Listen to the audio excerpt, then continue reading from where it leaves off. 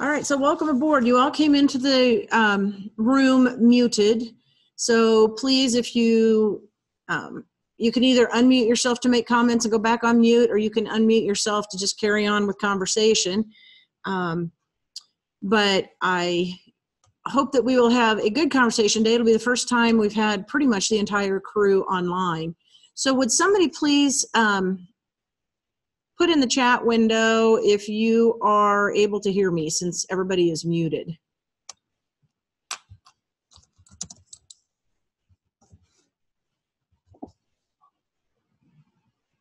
Thanks, Kyle. I appreciate that. All righty. Well, I've got some agenda items today. Some of them came to me from Justin Stewart at University of North Texas. If you guys have other things that you want to talk about, please jump right in.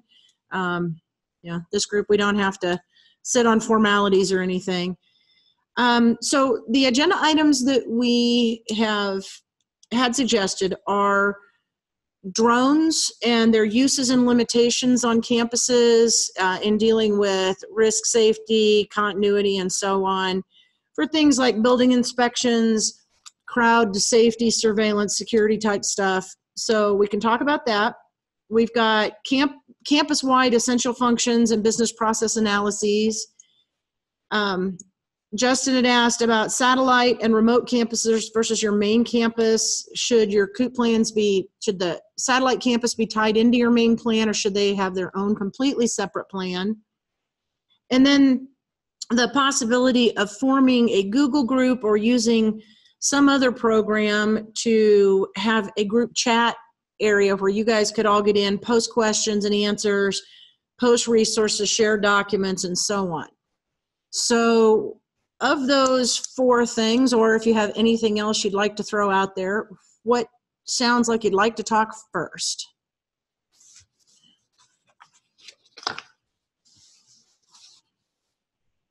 Yeah, hey Shelly, can you hear me? Can everybody hear me? Am I super loud probably? No, actually, I just need to turn my volume up on you just a little bit. Go ahead. So this is Justin at UNT. Good morning, everyone. Good morning, Shelly.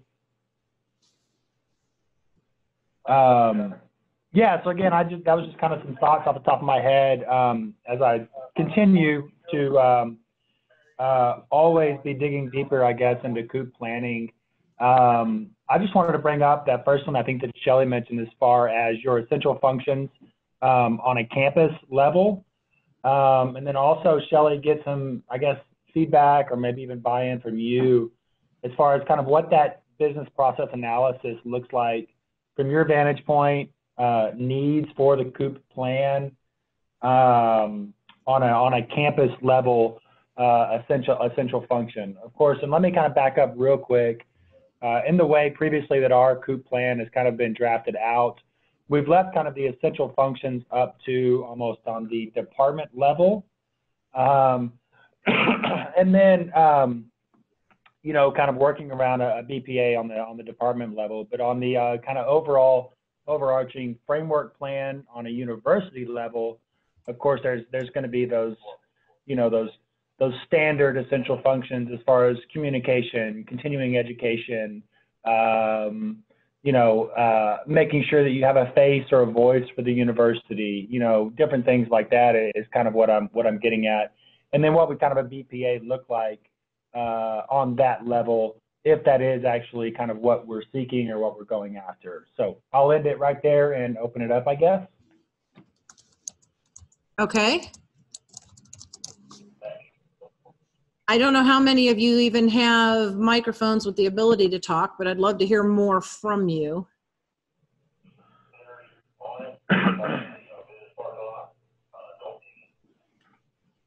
or if you want to type in any responses.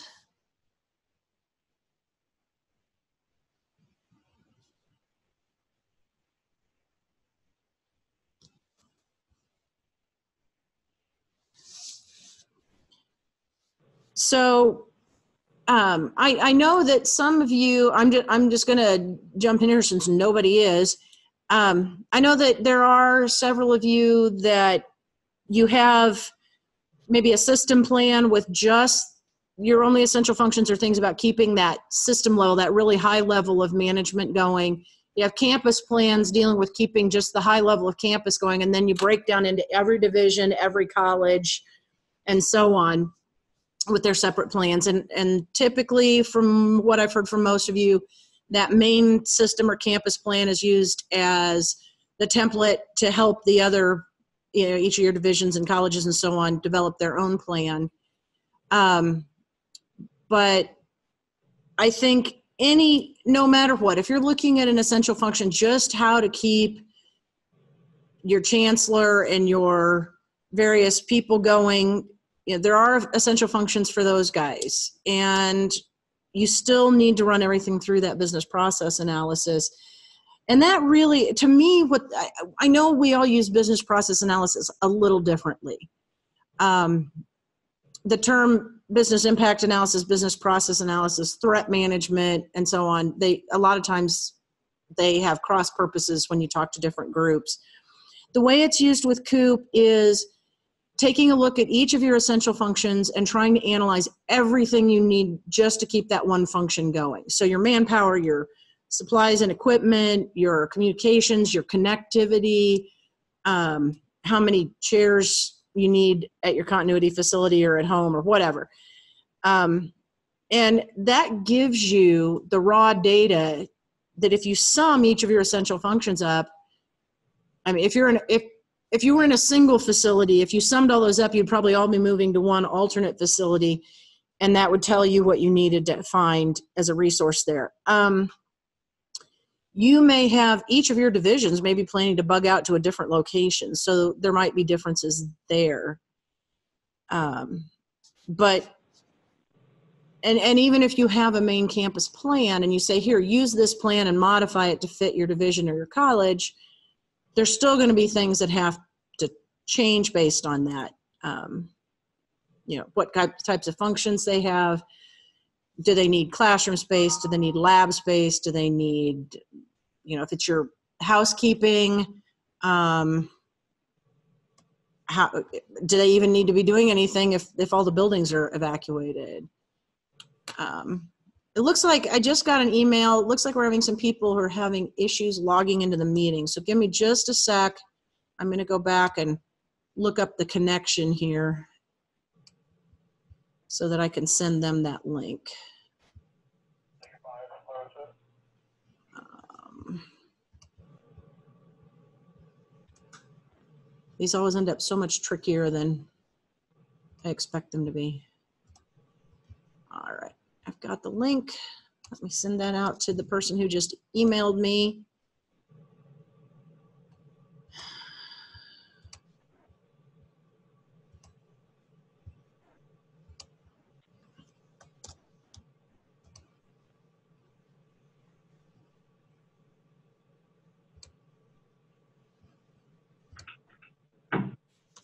There, thank you for your patience. Um, difficult part is the typical what i want to do is sit there and pa- paste into the chat and then i'm realizing everybody that would see it there is already in the meeting so that's kind of silly but. So justin does that cover the general gist of what you're talking about or are there some fine points that need to be gone over more in depth?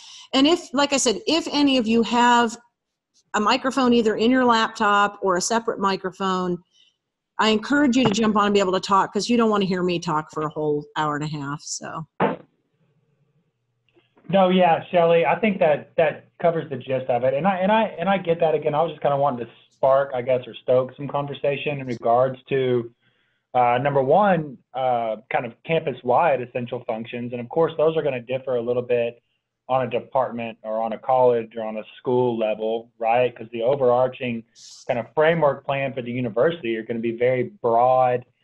Um, you know, functions that, that just need to be maintained, right? Whether that's police services, facility services, you know, different things right. like that. And of course, once you get down on the department level, you're going to start looking at, you know, the, the business process analysis of, you know, maintaining, um, you know, classwork or classroom work or even, um, you know, continuing education, I guess, for students, even if that's remotely online, a different facility, a different location uh, what have you. So I think it's a little bit more challenging, I guess I could say, to develop out those those BPAs um, on uh, a more of an institution-wide level, such as maintain critical communication to uh, the community and the constituents of the university, right? Of course, that's going to fall under your communications division, social media aspects, which will also tie into your communications department uh, continuity plan. So I, I see it as kind of being done almost a couple of times, I guess, uh, per se. But anyway, that's that's kind of what I was leaning at. Number one, your your critical or essential functions on a university level, and maybe even then, how they differ on more of a department level, college or school level. So, Yeah. Not to open up too big of a can of worms, I guess. Well, no, I think you've got a very valid point there because you guys have so many layers compared to your average state agency.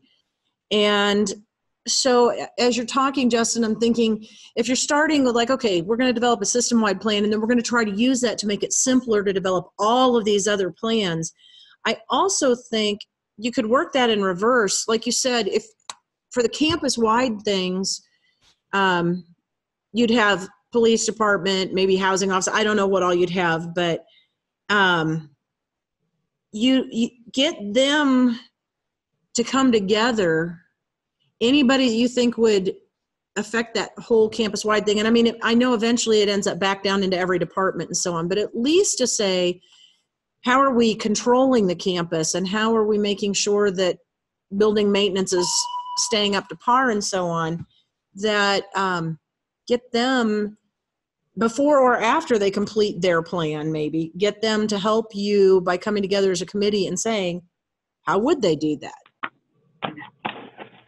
Yeah, I 100% agree. And that's currently, I've just drafted out my COOP core team for the campus. And of course, that includes individuals who represent or have um, some ties to, you know, what you, what, what you were just talking about, those critical or essential functions on a campus wide level. So facilities has representation, police department, auxiliary services, which includes housing and dining services, right?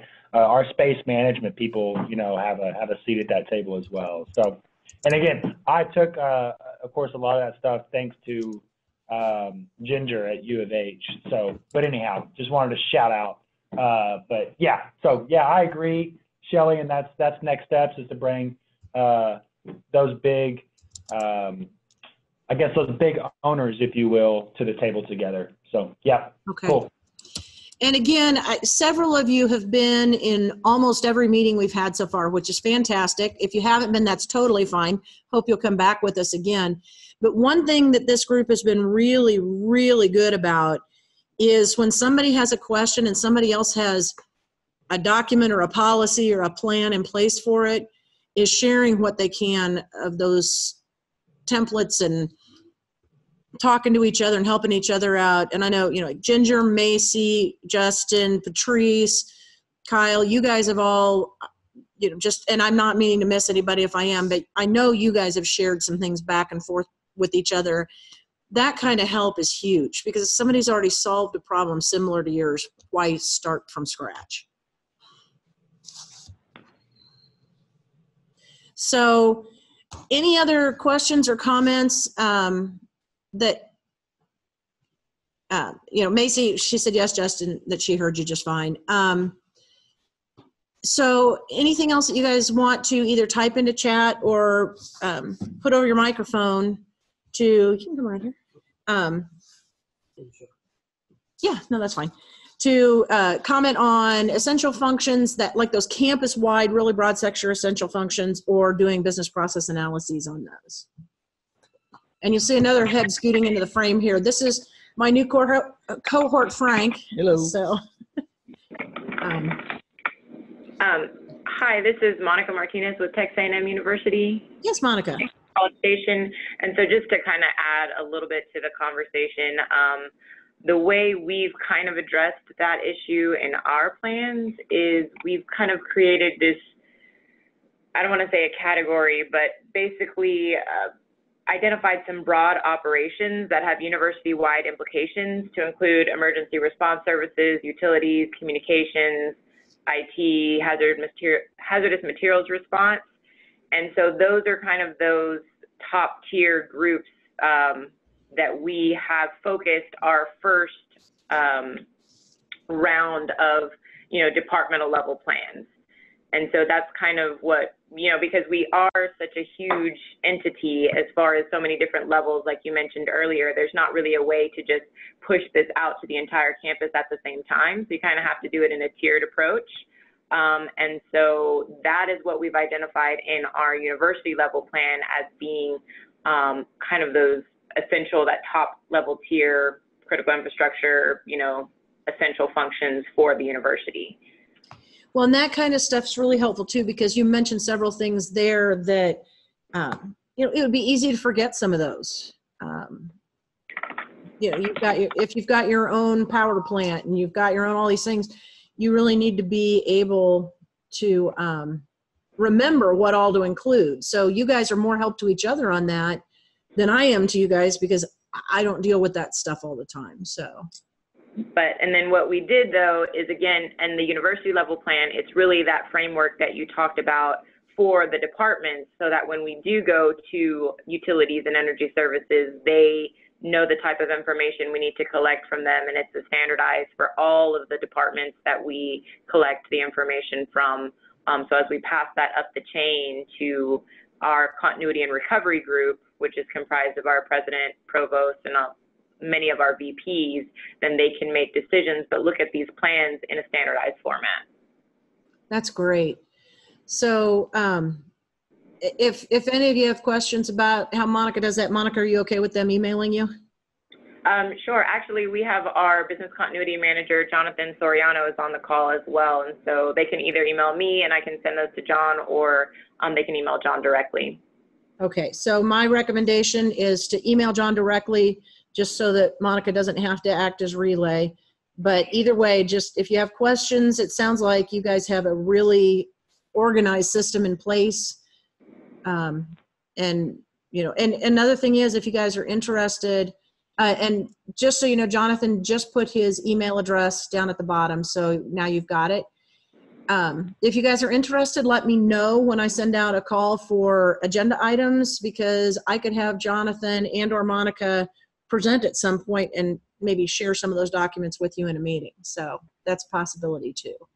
And, and I will say as a disclaimer, you know, we still are struggling with the same things that I think everybody probably on this call is struggling with as far as, you know, how to engage academics um, or the academic colleges and things like that. So we definitely do not have all the answers. Um, and we still, um, you know, are trying to build up our program thanks to many of the resources that uh, the people on this call have shared with us. Um, but, but again, so, you know, we're happy to share anything we have, but we're also looking for um, best practices and things that work at other institutions that we can apply here. Sounds good. So if any of you have things that might help Monica and her group, you know, there again, just keep sharing. That's this group is there for, and you guys have been really, really good at that so far. So, all right, well, let's move on then from essential functions and business process analysis. Hey, Shelley. Oh, yes, sir. Hey, let me jump in real quick. Um, Justin, May, um, Jonathan, and Monica, that was good info, but I just had a small win with my provost office, who is over all of our colleges and schools.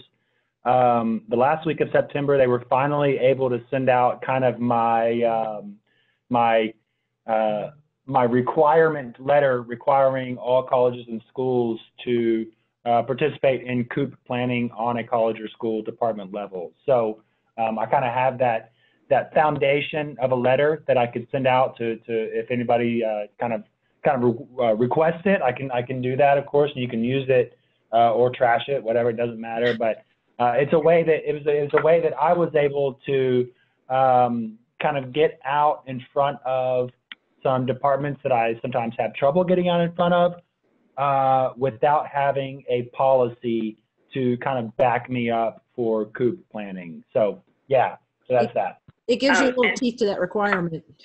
Go ahead, Monica. So Justin, that's actually pretty awesome. We definitely need a copy of that letter, and I actually have a meeting scheduled in just two weeks with um, kind of the right-hand man to the provost, if you will, so that we can start that conversation because we definitely realize we need that buy-in from the provost that, you know, unfunded mandate, whatever you want to call it, that says, yes, you guys need to do this process. Because if not, it's just us going to people and saying, hey, we need you to do this. But uh, yeah, there's not really a requirement that says you have to. Yeah, 100%. Same thing here. No requirement per se, except from the state level, which I actually um, uh, notate in that kind of chain or form letter that I've drafted out. Uh, and yeah, again, I think that's a good move. Is is obviously having that come from uh, the those faculty and colleges and schools uh, and departments. Uh, big boss is always a, a, good move, as we all know. So yeah, absolutely. I'll, I'll send that over uh, Monica, I'll send that over to Jonathan. That way um, that y'all can have it. So yeah. Just Sounds great. Give us a copy too, just in case we have people that aren't online, and maybe we can. They Yeah. might request it later on. We can have a copy. That'd be great, Justin, if you send it to Frank or I at SORM too. Um, you know, just Yeah, peel out anything. I'll just shoot it over to the. That'd be awesome. Thank Yeah. you. because we will share this video with people afterwards and some of them may say wait i want that i want that so you know as long as we know where things came from if nothing else we know to hook them up with monica or jonathan or justin or whomever um, and i'm really glad Yeah, you got we- it. I'm shoot. sure i i highly recommend written policies or regulations or whatever at the lowest level possible to govern your group because i mean you know the feds don't they don't really govern us but they gave us all these suggestions. The state passed all these rules and you are more than welcome to throw those into your arsenal of why you need to have a plan. And the main state legislative action was uh, texas labor code 412.054 and then we have, we chose that mandates that every state entity will have a plan and that that plan um, will meet whatever the guidance of SORM is. And then SORM opted rather than trying to go all legislative and us auditing you guys or anything, we wanted to make it a partnership and a much more organic, positive experience. So we came out with the two policy letters. There was the 2013 original policy letter and the 2019, and those are just the Texas continuity policy letters. So those can go into your authorities and references, but if you can get something that's signed by your own provost or chancellor or whatever um, the head person or persons are with enough, I won't say intimidation factor, but enough respect across your campus to say this needs to happen, you're going to have your best response from your people jumping on board. Uh, UT Dallas also wants a copy of your letter, Justin, and and then we're losing Patrick. Uh, hope we'll see you again, Patrick, and I will post the uh, video of this. So if you want to catch on and see any of the other issues, please jump on that video and check it out. We'll see you next time, hopefully. All right. Thank you. Sure. Um, all right, yes, and, and he said that Raymond Lorio has arranged to get the meeting. Raymond was the one trying to get in, and we've tried and tried with the Zoom, and something is just not letting him in, so I told him we'll send him the, the video as well. All right, um, how many of you are currently using drones on your campus? Not students playing with drones, but you guys actually using them as a part of campus business?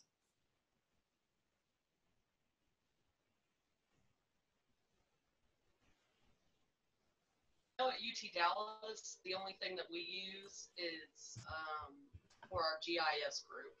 Uh, they're the only ones who use it. Okay. Um,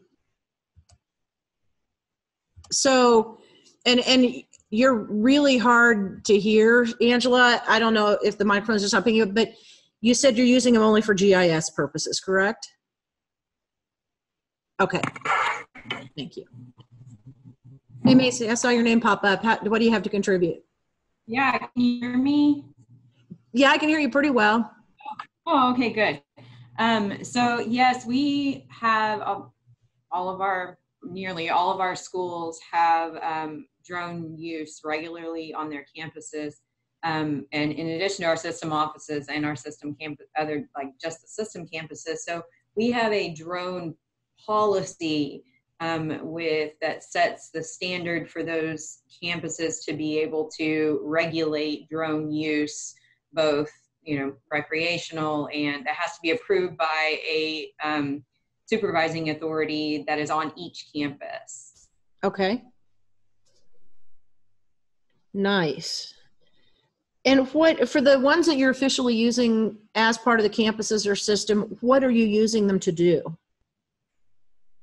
Well, we have, I mean, it's a, it's a wide range. So um, we have anywhere from police activity, like public safety activity. We have construction companies. There's so much construction going on across our members that they do. Some of those contracts actually require like a weekly um, like site survey from a drone person, depending on how expensive the project is. So, um, and and then down to hobbyists, and then we also have professors that that teach classes on on um, unmanned aircraft um, construction and research. It's um, it, drones are our new normal now. Yeah, yeah, that's so true. I'm sitting here thinking of you know old construction sites and the fact uh, what, I wonder what they would have thought at the idea of weekly drone surveys. yeah, there's, a, yeah, it is. Um, I, I didn't, um, I have come into this reality that this has been part of my job function um, very reluctantly. This is not what I envisioned, but you know? yeah, it, it seems to me technology is advancing so quickly now that there's virtually no way to, to stay on top of it or to realize what your job is going to be three years down the road. Um, so, so you use them now for, do you use them at all just on your existing buildings to do things like um, check an initial storm uh, inspection or of your roofs or anything like that? Our, um, our partners in insurance, so if we have had a major disaster, we have um, responders contracted and um, if they have the appropriate um, COAs, then they are able to use it in a public safety capacity. The um, the the insurance partners, I believe, would still have to submit, like if they're just doing a damage assessment, let's say, um, they would still have to submit um, for um, approval from the campus um, campus supervising authority. So Okay. I don't know if our insurance partners have public safety COAs or not, if they could operate under that. um, License. Has any, so you said your police department uses them. When you have big events on your campus, you, games or, you know, some sort of festival on the campus or whatever, did they use those at all for general crowd security or, you know, try and, No, no, um, not to my knowledge. Okay. Um, our, the, the one campus that I'm thinking of that, that currently has and uses their drone, the, the police, they have been asked to do so for security checks for a large windmill uh, research project that Oh. is, and this is out in West Texas. So um, I don't know of, I, I mean, it, they may do campus security at other mem, uh, for like games and stuff, but I don't, I'm not aware of it. okay. I know that another way they're starting to try and get out there and look for, you know, active shooter potentials. Yes, Monica. So I can speak to our main campus um, in College Station, and we do not use drones in our police department for any type of uh, large special events or game day security or anything like that.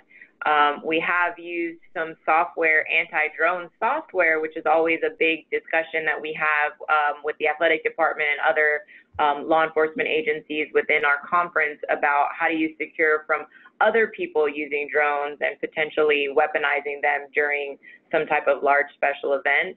Um, and so we have um, occasionally been able to demo some of those softwares and things, but unfortunately, the question always becomes is who's going to pay for this type of stuff um, because the athletic department wants the police department to pay for it, and the police department doesn't have money to, you know, spend on those type of systems to secure one stadium or something like that.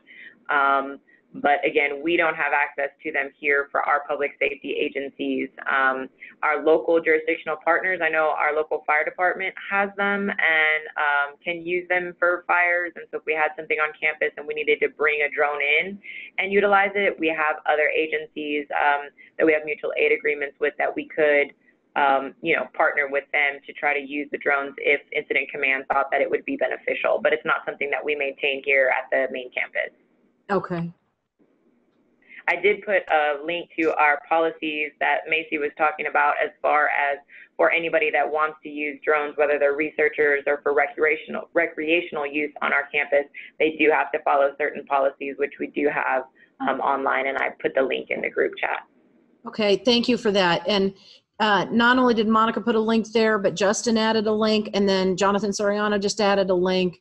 Um, so you've got some intro, some information on TAMU, on UNT, and then Jonathan's is a drone resource from the Airspace Museum, and it shows active registered drones and so on. So it's a way to track a little bit. So, um, you know, I, I'll be curious to see as this becomes, as as Macy said, more and more the mainstream of business, what clever ways you guys find to utilize drones for the good and and also as monica said how you worry about um, drones coming in at, with ill purpose.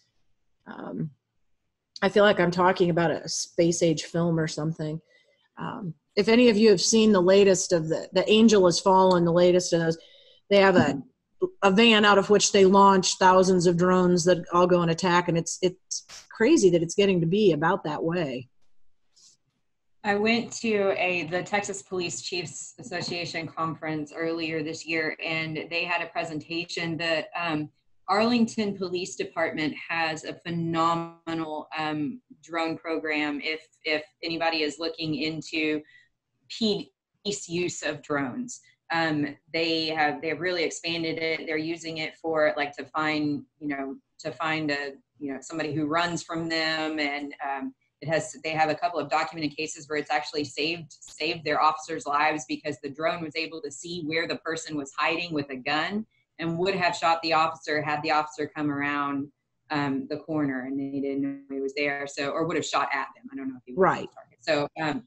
so anyways, if anybody is interested just in the police aspect, the Arlington Police Department um, did a presentation and I'm sure that they were really excited about it. I'm sure that they would offer um, any additional guidance. Great.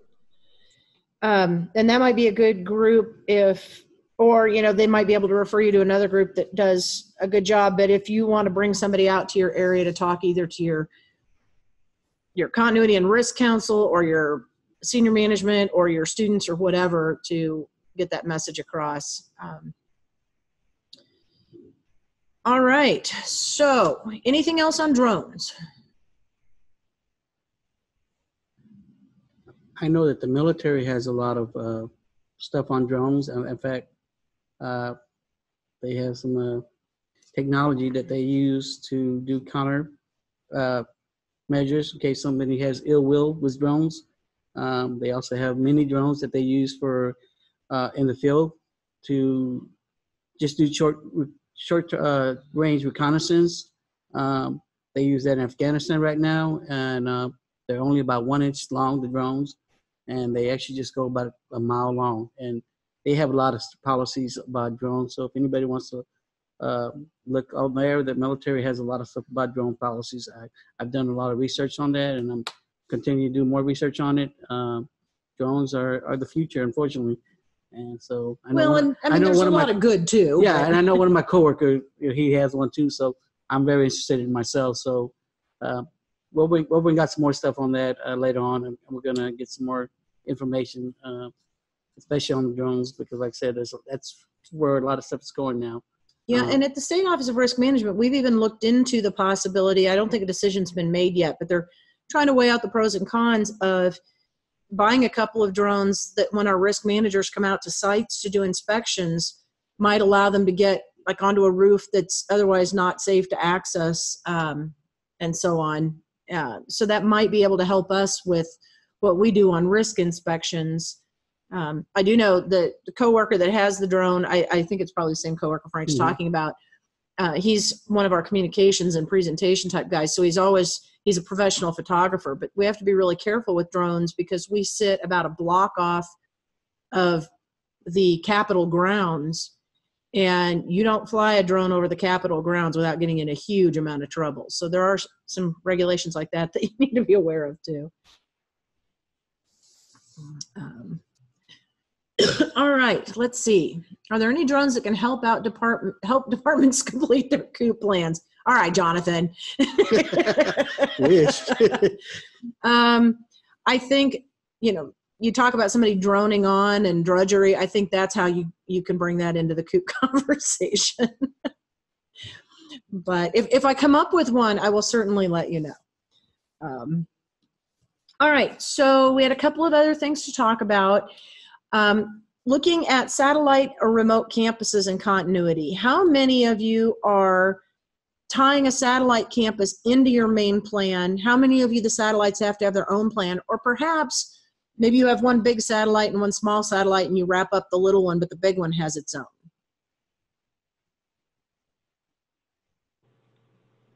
So let me touch a little bit more on that. We have a kind of a newer satellite campus um, just to the east of our main campus, uh, maybe 20, 25 miles or so. Frisco is, is, the, is the town name in Collin County.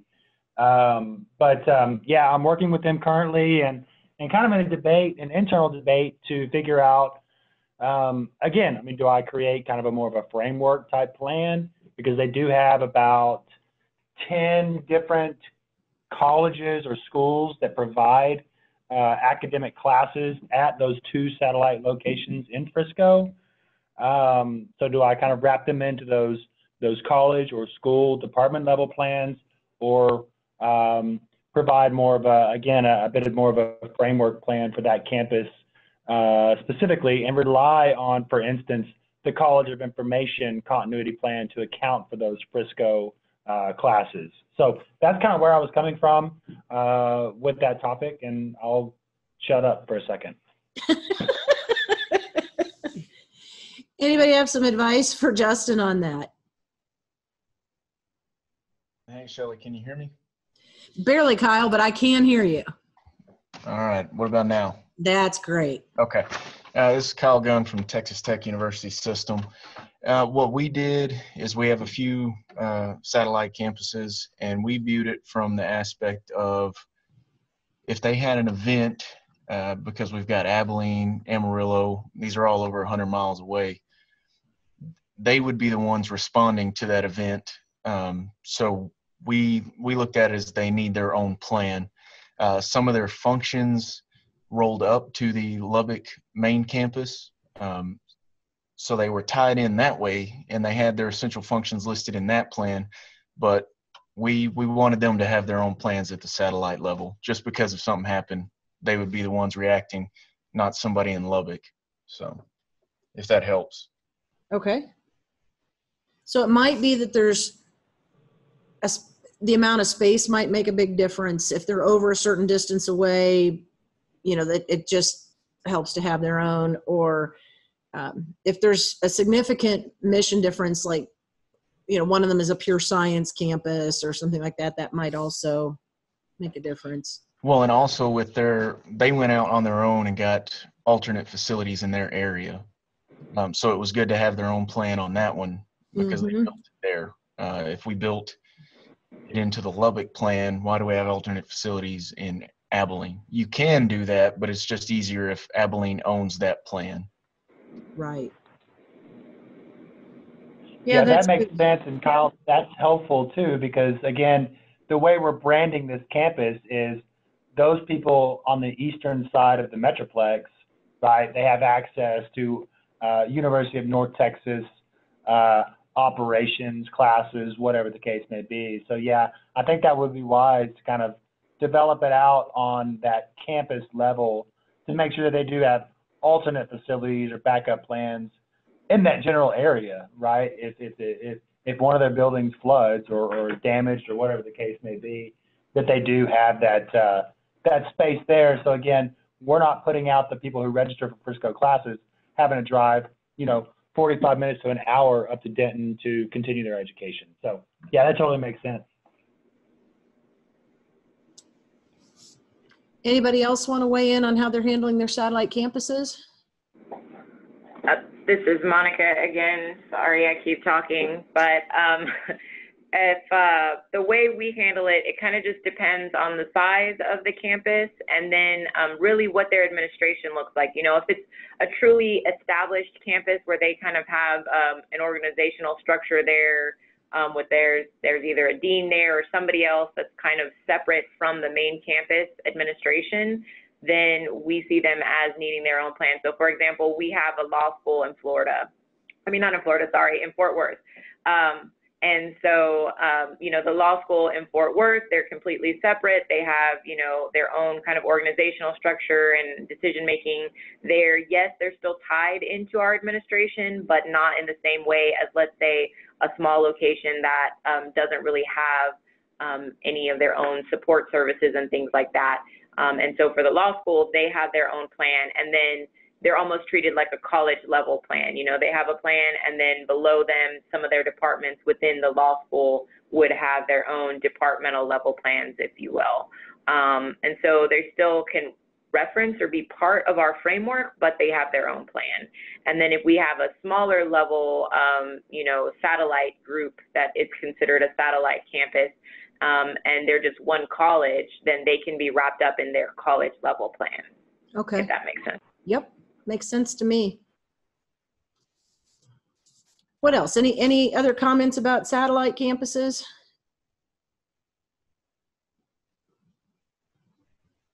And Justin says, thanks. Um, so two more things I want to talk about, and they're both almost more administrative, but one is Justin's question on template sharing and did, would it make sense to form a Google group or I can investigate through SORM to see if there's something we could host on our website that you guys could all sign into or whatever, or you might have other programs you guys use for this sort of stuff where you guys could go on, check regularly, post questions, answer questions, post your docs.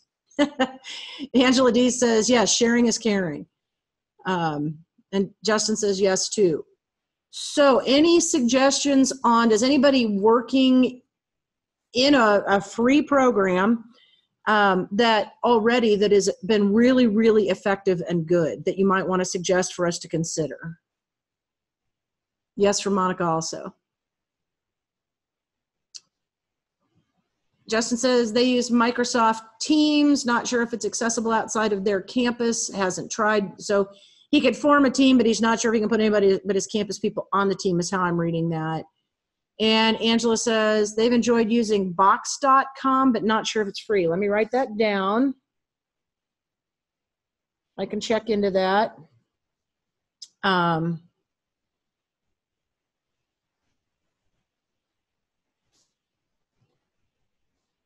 I know I have a group that I maintain um, Google Drive. I don't have a lot of experience with any of these. Um, does Shelley have a budget for us? Justin, I'm going to put you in the same box. I'm going to put Jonathan in, and I'm going to seal you both up and throw you in a closet somewhere. um, but like I said, I've not ever had much need to share documents and so on. I did form a group of state coordinators for continuity with other states around the country, and we've been using Trello just to say, do you have ideas for what we're going to talk about our agenda? Do you have, you know, and you can do some sharing on there. It seems very simplistic. I don't know, I haven't really run it through its paces to see what depth there is to that, but um, it's free. So, but it might even be possible, but I'm not going to promise anything because I'd have to take it through a whole different division of my agency that there might be some way for us to post something like that that would be maybe that you guys could all have logins or something so that everybody and their grandmother wasn't getting into your information but um, you know that that might be helpful. So if you if you have other sharing software you think works well, especially if you happen to know that it's free, would a Google group be accessible? I have no idea.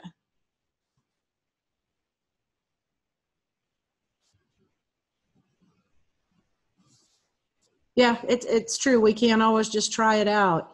So let me look a little bit into the box, the Google Drive, you know, Google Groups, Trello, those kinds of things, and see if I can get some more information if any of you want to dig around and send in information, we'll compile it all, share it, maybe get some of you to test it between yourselves to see if it works. And then once we've tried a couple of them, if they're free, we can try as many as we want and test them out and then see about putting something more permanent in place. So that'd be a great way to share. Let's see, Justin. I'll keep you in the loop. Absolutely. Um, you can be one of my guinea pigs, Justin. So, all right. The other thing I- wanted to bring up just for me, um, you know, we in July we hosted our first remote continuity meeting, and we uh, Justin was our host there at University of North Texas, and you know it was it was a real trial by fire. We we tested our system to the see if we could break it and i was afraid we'd break it right before everything got started but it actually went a little better than i expected. Um, so i want to definitely go out on the road a little more often. And it seems to me if we're going to try to get to different areas of the state our mission would be twofold. One would be to host a regular continuity meeting that everybody can get to either remotely or in person. Two to bring allow some people out in more remote areas who can't get in here for meetings ever to get to be live with us occasionally. And perhaps my biggest reason for doing that is I want to try to use regions of our state to introduce local business, local government to continuity, give them a little bit of information and let them know there's a resource out here for help so that perhaps every community gets stronger, which ultimately makes our state stronger it seems to me the easiest way to reach out and to find somebody who can host us and who has some knowledge of the business and the local government in the area would be to go through just the universities in each area. And I know some of you have already said, hey, if you want to come to our area, we could probably find a place to, to host you. What we would need for that would be an internet connection that we can hook into that's solid enough to run video um, if you have a sound system for people who are in the room, that would be great too. Although usually I can talk loudly enough to be heard most of the time. But, and then we would ask you guys or anybody that you knew that had things to pitch in and be participants and presenters. And then invite Justin, you might want to chime in here, but Justin invited, I know, his LEPC, and he had a group of North or North Central Texas schools that included a lot of other universities, and private sector schools. Might invite school districts in your area. You might go to the Better Business Bureau, and to help us figure out who would be good people to invite to your meeting to attend either in person or online, and try and plant that seed. How do you all feel about being my go-to for hosting?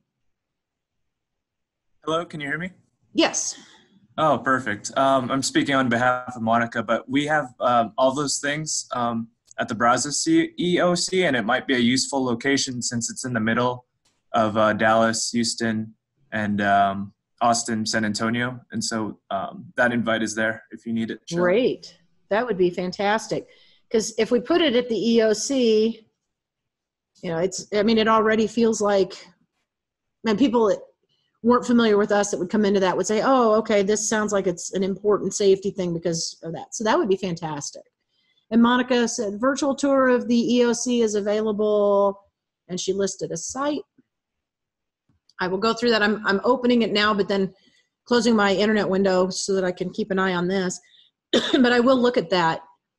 Um, and then Justin is a great opportunity to have experience of Storm in the Room, local larger businesses like Peterbilt and so on. And Justin is going to continue to bring the continuity conversation into their LEPC meetings.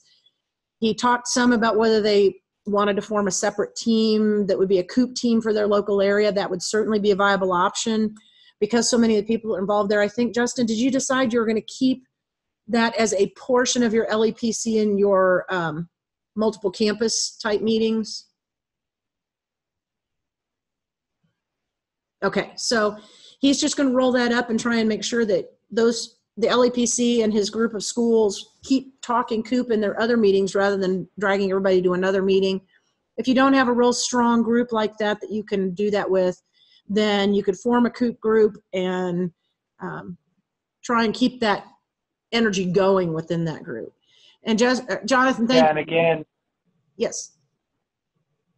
Shelley, I think just to kind of tie into a little bit kind of why or how we decided, decided to start that conversation was, uh, you know, a, a COOP event might not just affect your university, right? Or it may just affect your university. And then again, of course, you, you might be relying on local school districts for space or, you know, local businesses for some assistance, you know, whether it be, you know, water or, or whatever the case may be, right? They may have space or some resources that you might be over. And of course, as I always say in the emergency management community, you don't want that emergency situation to be the first time that you meet somebody, I guess. So Absolutely. just kind of a, a, some, so a little bit more info and, and why I've kind of included some of the local larger businesses uh, in our region as well, a resource perspective, um, and then of course just just to just to just to get out and uh, and meet people. So yeah. Right. Yeah, it is just one more great way to have conversations. I, I come out, I came into COOP from the hazmat field. And one of the things, we had government funding to go teach public sector groups, but we would oftentimes try and get the private sector groups to host a class and we'd end up combining them because if you have a, a group of firefighters or police who would report when a large food refrigeration facility is having a hazmat event with their ammonia refrigeration unit or something, there's always that posturing and that drawing the line in the sand and we don't need you or we can handle this or oh my god you got to take this off our hands. Uh, are you going to fine us? Whatever it might be. But when they have sat down in a class and they've screwed up together and they've laughed together and they've planned a little bit together then when an event happens it's like hey bill how's it going jim? Is it your refrigeration line you were talking about in class? Yeah. It just becomes a whole different atmosphere as well as knowing each other's stuff ahead of time. And I think this works a lot the same way. Kyle, I did also see your message that you guys could host, so I'll be in touch with you as well. And I don't think Ginger's on the call today, but um, I know Ginger was possibly interested too. So that's helpful. I'm going to put it to my agency to say, we have four quarterly meetings a year. I don't know if this has to be a quarterly meeting. In between, we're going to be doing all kinds of different training classes. And we could really do it with any of those. But if I could get out on the road at least twice a year, I think that that would be helpful. Um, so I'll bring that up again and we'll talk more about that. Um, Justin, please give him a reason to get out of Denton for a day or two. Well, apparently Jonathan's looking to have parties at the uh, EOC, so we may be able to hook you guys up on that. Um, so, oh, he's on his way, Jonathan. Look out. Um, but no, thank you guys for uh, your openness to that idea and for taking a lead role. I know in most communities, they look up to their universities, I think, because of they see it as so much planning is in place beyond what a lot of smaller communities have in in most other places so we will touch back to that what else we've got a few minutes left if you guys have other things you'd like to bring up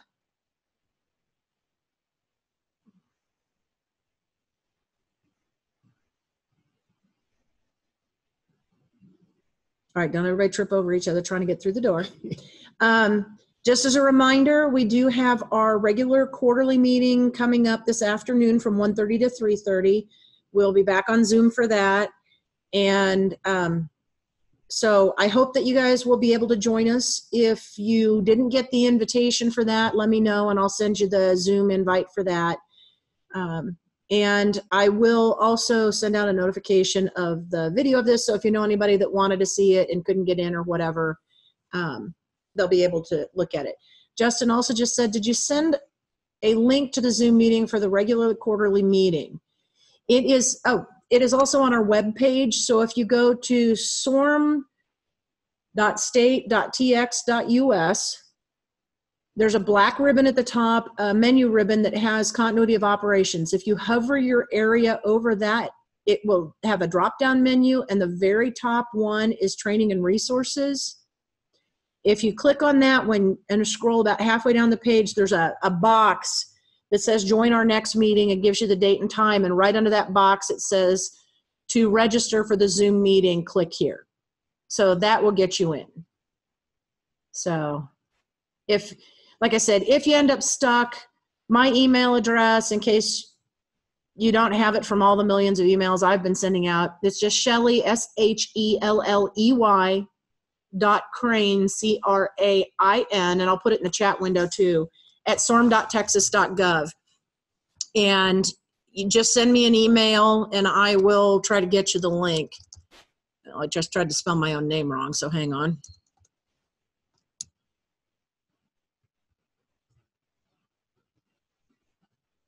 And then I will also remind you of the link to get it off our website.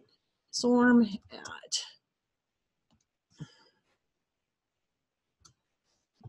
what is state tx.gov? Something's missing. Oh, Texas. Huh.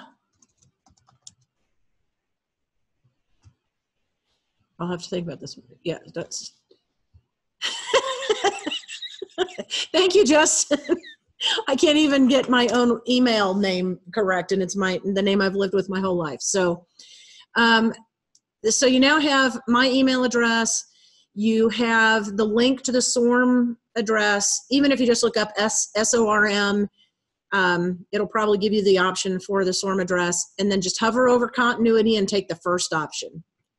So if nobody else has anything they really want to talk about, I'm going to give you back a few minutes of your day and we will hope to see you again at 1.30. Thank you guys so much for being here.